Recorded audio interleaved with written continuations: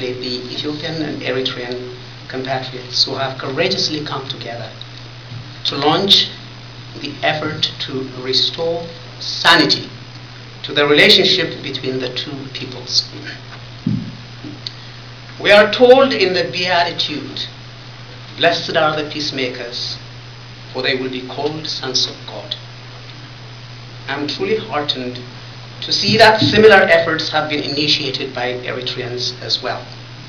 Eritreans, Eritrean Citizens for Peace held its founding conference in May 2010 in Brighton, England, where it drew a peace charter, and subsequently, in November 2010, it convened a gathering of several Eritreans, Ethiopians, and others from our region in Atlanta, Georgia, to broaden the scope of its work. I believe that these are inevitable initiatives by the people themselves in the face of the failure of political leaders. Let me come back to my topic, and please pay attention to it. My topic is unutterable words, and whenever I say this word, it's in quotation shamed progenies. Un- unutterable words, shamed progenies. I was born and raised in Addis Ababa of Eritrean parents. I came to the United States at the age of 18, way back in 1972. Therefore, you could say, in the words of Professor, Professor Ali Mazrui, that I'm a child of a triple heritage. Being an Eritrean by blood, by virtue of the locus of my birth, acculturation and socialization, an Ethiopian. And may I say, this is about as heretical as one could get. And finally, having lived, being educated, and worked in the United States my entire adult life. Triple heritages. There you have it. A true triple heritage. Let me have you fast forward to May 1988 when I made a decision to take my Eritrean wife with, Romika. And by the way, I'm an, I'm an Eritrean Orthodox, uh, Orthodox priest, and therefore I do have a wife.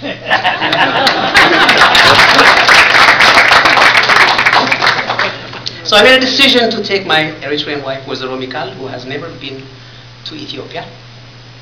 My two American born children, Rahwa and Paulus, were what was billed as the family's ultimate summer of adventure.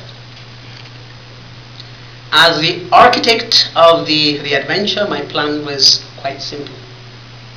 I was going to introduce my children, my wife as well, to the first two important formative heritages of their father. We were to spend the first half of the summer in Ethiopia. There, they would see the house in which I was born and raised, the schools I attended, the neighborhood, small and uneven field where we played soccer, the church in which I grew up and where I was molded, and where I became a deacon as a child. Yeah, Eritrean men do cry. the Holy Trinity Cathedral, right in the heart of Addis. We were all excited to visit historic sites such as Lalibela, Aksum, and Gondar. My children had always been told of their numerous uncles and aunts, dozens of cousins, literally dozens. But now they would be privy for the, for, for the first time in their lives to the unanswerable words and, in quotation, shamed progenies that have their beloved uncles, aunts, and cousins are Eritreans, and the other half are Ethiopians. Growing up, I had never said that un- unutterable word or words half brothers and half sisters. Born of the same father, but of two mothers. one Eritrean and the other an Ethiopian. The siblings never referred to one another as quote unquote half brothers and half sisters. We were just brothers and sisters. We lived in close proximity. The fact that we were so many was, was a source of pride, and everyone around us knew we were, quote unquote, half brothers and half sisters. But the word among us was a taboo of the worst kind. Never refer to us ourselves as half brothers and half sisters. Just brothers and sisters, that's all. The summer plan also called for the family to spend the second half of the summer in Eritrea. We were to visit the ancestral villages on both sides of the families, mine and my wife's. This, incidentally, was supposed to be my first visit there. Consequently, I was both excited and pensive. The months of April and May were quite hectic as we made the necessary preparations. Gifts to be bought for so many relatives. All passports and visas were in order, and air tickets from the Ethiopian Airlines at hand. Everyone was quite excited. But all our plans were to be brought to a screeching halt the most shocking and unbelievable news of war breaking out between Ethiopia and Eritrea in early May 1998 struck all of us like a thunderbolt.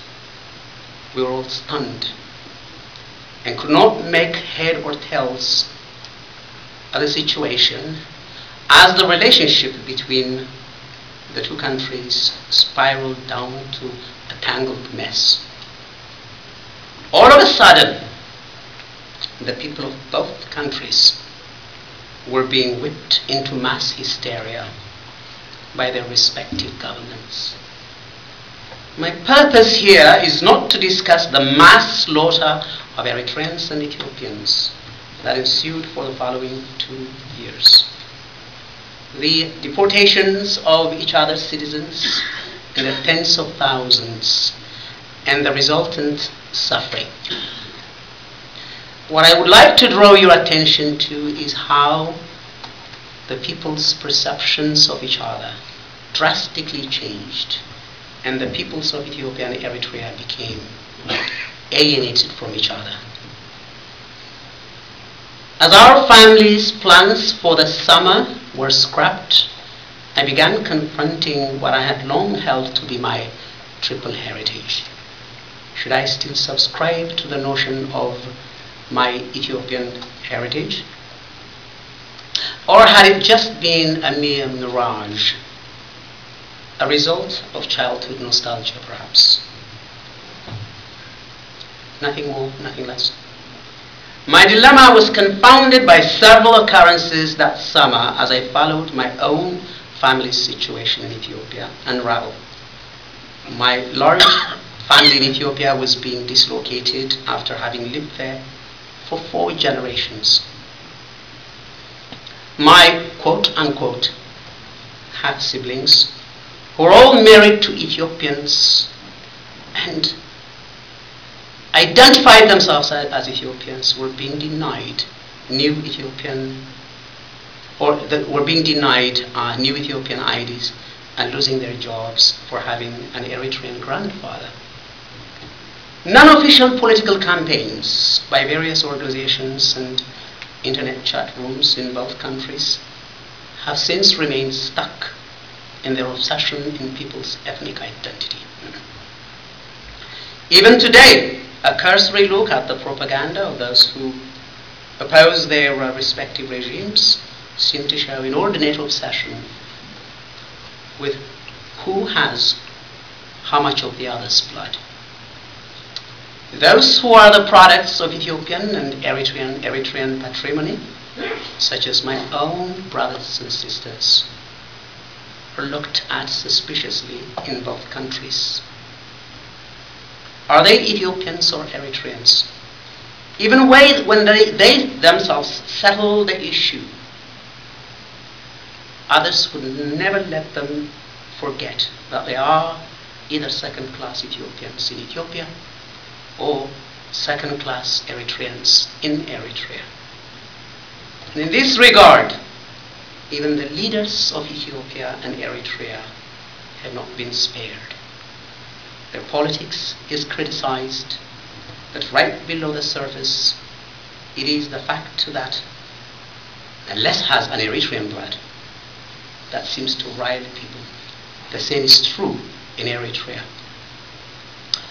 Multitudes who share the same progeny are cast in similar suspicions for the countless Ethiopians and Eritreans.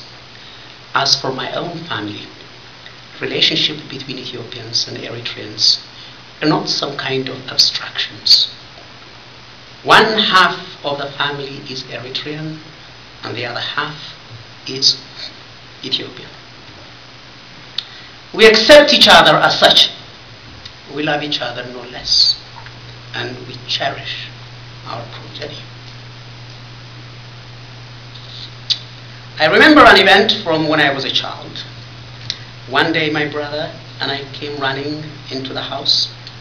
Must have been perhaps no